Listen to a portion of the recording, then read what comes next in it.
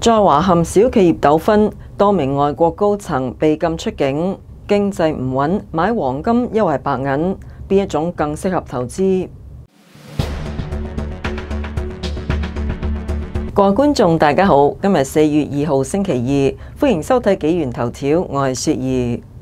六年前，一位居住喺中國嘅美國高層，曾經喺上海浦東機場搭機前往舊金山例行出差。但係佢被告知唔准離開中國。而家呢名美國人嘅遭遇，亦發生喺更多嘅外國高層身上。上海邊境官員對佢話：你知道你做咗乜嘢？佢嘗試去另一個機場，同樣被禁出境。《華爾街日報》三月三十一號報導，從嗰個時候起，呢名美國高層就一直被困喺中國。佢係中共出境禁令嘅目標。呢個係中共法院使用一種法律工具，導致好多外國高層被困喺中國，而且通常唔知道乜嘢時候先至獲准離開。中共出境禁令範圍有幾廣，同中共法院交涉所需要嘅時間有幾長，都係模糊不清。多數出境禁令唔適用於被指控犯罪嘅人，而係適用於涉及民事訴訟、通常商業糾紛嘅人。即使係唔承擔個人責任，或者係公司捲入糾紛前幾年離開公司嘅外國人，亦受到禁令約束。根據維權組織保護衛士二零二三年五月二號發布嘅一份新報告顯示，中共越嚟越多禁止一啲人離開中國，包括外國高層，限制出境已經成為中國共產黨用嚟加強對人民生活各方面控制嘅眾多工具之一。限制外國人出境，成咗中共人質外交嘅一種手段。《華爾街日報》對幾百萬份文件嘅在線法院資料庫進行搜索，發現三十七宗外國人被禁出境嘅案件，但律師稱真實數字要高得多。學術界已經發現超過一百五十宗呢類案件。法院資料庫中嘅案件包括因為拖欠付款或者係債務而滯留喺中國嘅美國人。一名台灣餐館老闆同德國合夥人喺股權問題上發生分歧，以及一名伊朗商人幾個月都冇法子離開中國，因為佢欠一名員工七千蚊。舊年日本野村國際銀行中國區投行部主席黃中和被禁止離境，引發國際關注。呢個係一宗知名人士被禁出境嘅例子。加州理工州立大學聖路易斯奧比斯波分校商法和公共政策教授沃爾德森對華日表示：喺中國涉及外國人嘅民事糾紛中，出境禁令會改變權力平衡，另一方掌握所有牌。出境禁令亦經常針對規模相對較小嘅企業主，或者係捲入個人糾紛嘅企業主。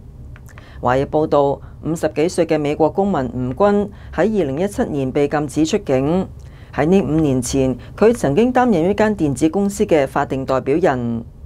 當中共法院喺二零一六年三月裁定該公司拖欠八千一百五十美金工資同其他款項嘅時候，吳軍嘅名仍然列喺公司註冊名單上。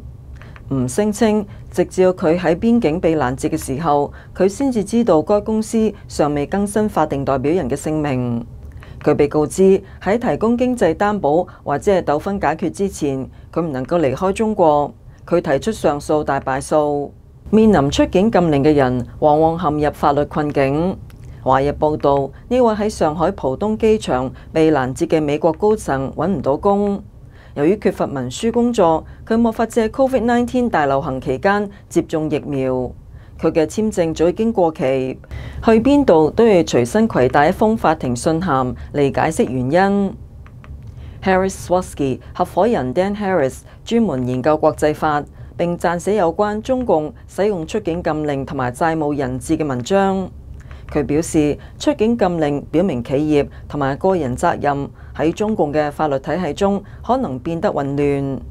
雖然北京允許企業以有限責任公司嘅形式運營，但係當涉及出境禁令嘅時候，企業責任好快就變成個人責任。舊年一系列在華盡職調查公司遭到中共當局突擊搜查，一啲人被拘留。此舉唔單止嚇跑外企高層。佢哋仲對喺中國做生意嘅風險提出嚴重質疑。上個禮拜，中共連開三會，包括中共黨魁在內嘅中共領導層頻繁會見外企高層，企圖拉攏外資，吸引外國公司同埋商人。但系中共並冇解決喺中國工作嘅外國人面臨嘅一大風險。佢哋可能被禁出境。二零二三年十月十八號，美國駐日本大使伊萬紐爾發文批評中共當局令多個私企高層失蹤或者係被禁出境。佢 X 上面寫到：被拘留、失蹤、被驅逐，下一個係邊個？佢話鬥魚執行長陳少傑神秘失蹤，八月到十一月；阿里巴巴創辦人馬雲被驅逐，二零二零年到二零二三年。野村證券嘅黃忠和被禁出境九月，然後仲有旭華藥業董事長趙炳憲、中糧集團原副總經理周正、投資銀行家包凡、新城集團副董事長葉簡明、美思明治、貝恩斯本、安斯泰來製藥，仲呢個週末一齊神秘死亡事件。伊曼紐爾最後寫道：喺中國開展業務嘅成本不斷上升。失踪拘留名單不斷增加，中共出境禁令已經成為美國外交官頭痛嘅問題，加劇中美之間嘅長期爭端。自三月份以嚟，美國國務院一直將中國列入重新考慮旅遊名單，理由係存在任意拘留同埋任意執行中共法律嘅風險，導致美國公民可能面臨出境禁令。美國政府根據信息自由法要求披露一啲同中共出境禁令相關嘅數據。美國國務院援引美國駐北京大使館嘅信息，披露二零一零年到二零一九年間發生嘅三十宗出境禁令案件。三年前，馬薩諸塞州民主黨參議員馬基同其他立法者提出一項立法，拒絕向任何參與裁定或者係執行出境禁令政策嘅中共官員發放簽證。但該法案尚未成為法律。由於通貨膨脹、高利率同埋整體經濟不確定性，近年嚟好多人開始關注貴金屬。呢啲投資通常係風險較低，既能夠保護財富，喺好多情況下甚至仲能夠增加財富。大家對貴金屬嘅興趣與日俱增，甚至好似 Costco 咁樣嘅大型商店，亦開始銷售金條同埋銀幣。雖然呢兩種貴金屬對於投資者嚟講都係唔錯嘅選擇，但喺某啲情況下，其中一種可能比另一種更好。CBS 新聞報導，美國經濟研究院高級經濟學家厄爾表示，有啲人購買白銀就好似佢係黃金嘅完美代替品一樣，因為佢哋都係貴金屬，而前者價格通常即係後者嘅一小部分。厄爾話。但係唔同嘅市場同埋經濟條件下，兩者喺需求、流動性同埋表現方面存在差異，令到佢哋作為替代品雖然相似，但亦相當唔完美。唔確定你係咪應該投資金條，抑或白銀？根據 CBS 採訪嘅專家講法，以下係點樣判斷邊種貴金屬幾時更適合投資嘅建議。一啲專家表示，如果你最擔心通貨膨脹同埋美金貶值，咁金條同埋金幣將係比白銀更好嘅選擇。鳳凰資本集團控股公司資本市場董事總經理威勒表示，一般嚟講，黃金將係更合適嘅通脹對沖工具。呢個係因為黃金更加稀缺，但投資者同埋世界各國政府嘅需求仍然好高，而白銀供應量更大。喺好多工業領域都有應用，因此需求同埋價格亦會出現更多嘅波動。專家表示，呢個亦令黃金成為一種風險較低嘅投資。因此，如果你對資金更加保守，可能選擇黃金更好。厄爾話，白銀嘅價格可能會波動。喺嚴重嘅蕭條時期，雖然黃金價格可能會上漲。但可以想象嘅係，由於對白銀嘅產品同埋工藝嘅需求下降，白銀價格實際上可能會下跌。最後，如果你缺乏儲存空間，又或者唔想支付太多費用，黃金亦可能係更好嘅選擇。USA Point 管理合夥人兼密西西比州當鋪協會主席庫爾頓表示，隨住入室盜竊同埋盜竊事件嘅增加，你嘅貴重物品需要保管起嚟。佢話同白銀相比，將五萬美金黃金轉移到保險箱要容易得多。從重量角度嚟睇，當今市場上需要八十五點五五安士嘅白銀先至等於一安士嘅黃金，但係對於某啲投資者嚟講，白銀可能更合適，尤其係喺你預算緊張嘅情況下。呢個係因為白銀價格比黃金要低得多，可以相同金額購買更多嘅白銀。厄爾話：白銀仲為你提供獲得更高回報嘅機會，並且喺經濟繁榮時期尤其有利可圖。厄爾表示喺經濟強勁擴張嘅時期，通貨膨脹率較低，而且就業以非通貨膨脹率嘅速度擴張，白銀價格可能會因為工業用途嘅擴大而上漲。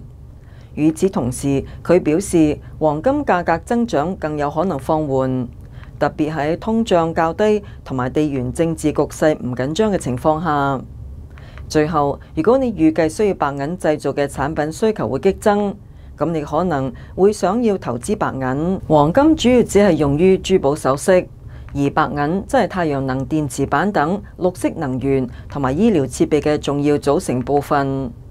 Endeavor Metals Group 嘅常務董事加內實話，因此如果你押注喺更宏觀嘅主題，白銀可能係更好嘅選擇。專家表示，黃金同白銀都有佢嘅用途，但如果你唔確定而家最適合投資邊種，可以考慮以下幾點：首先，了解自己嘅投資目的，如果係為咗產生高回報，可以選擇白銀。如果你更多係尋找一種安全方式嚟保護財富並抵禦通貨膨脹，咁可以考慮黃金，仲可以查下市場狀況，包括黃金同埋白銀價格，以獲取指導。Allegiance Gold 聯合創始人艾布卡里安表示，供需動態、地緣政治事件同埋經濟指標等因素都會影響唔同形式貴金屬嘅價格。佢話：如果你仍然冇法子決定，只要有預算，就可以選擇兩者都購買。考慮將你嘅財富分散到黃金同埋白銀，而唔係選擇其中一種。今日嘅紀元頭條就到呢度，多謝收睇，守護真相，永不放棄。就請大家訂閱我哋嘅 Patreon，你嘅支持可以幫助我哋嘅 channel 繼續營運落去。我係雪兒，聽日見啦。